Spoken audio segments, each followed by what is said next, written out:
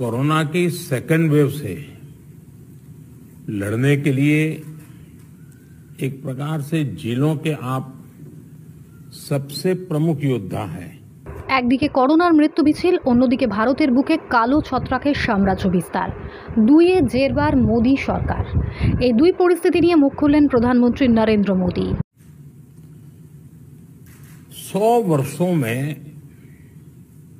आई इस सबसे बड़ी आपदा में हमारे पास जो संसाधन है, उनका बेहतर से बेहतर उपयोग करके आपने इतनी बड़ी लहर का मुकाबला किया है। साथियों, आपसे बातचीत की शुरुआत में मैं आपको वो दिन याद दिलाना चाहता हूँ जब आप इस सेवा में आने के लिए तैयारी कर रहे थे, आप याद करिए, जब आप सिविल सर्विसेज़ या अन्य परीक्षाओं के लिए जुटे थे तो आप अपने परिश्रम पर, अपने काम करने के तरीके पर सबसे ज़्यादा विश्वास करते थे। आप जिस भी क्षेत्र में रहे हो वहाँ की छोटी छोटी बारीकी से परिचित होते हुए, आप सोचते थे कि मैं इस दिक्कत को इस तरह दूर करूँगा। आपकी यह सोच, आपकी सफलता की सीढ़ी भी बनी।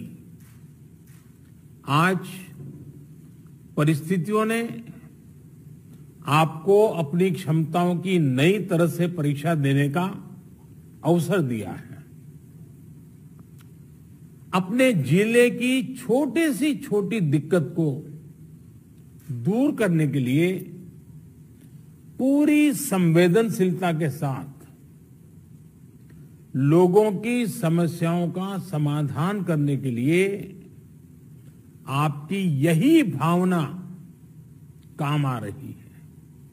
हाँ, कोरोना के इस काल ने आपके काम को पहले से कई अधिक चैलेंजिंग और डिमांडिंग बना दिया है। महामारी जैसी आपदा के सामने सबसे ज़्यादा अहमियत हमारी संवेदनशीलता और हमारे हौसले की ही होती है। इसी भावना से आपको जन जन तक पहुंचकर जैसे काम कर रहे हैं, उसको और अधिक ताकत से, और अधिक बड़े पैमाने पर करते ही रहना है। साथियों, नए नए चैलेंजेस के बीच हमें नए नए तौर तरीकों और समाधानों की ज़रूरत होती है।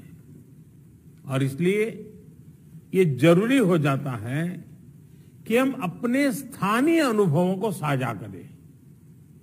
और एक देश के रूप में मिलकर के हम सब काम करें।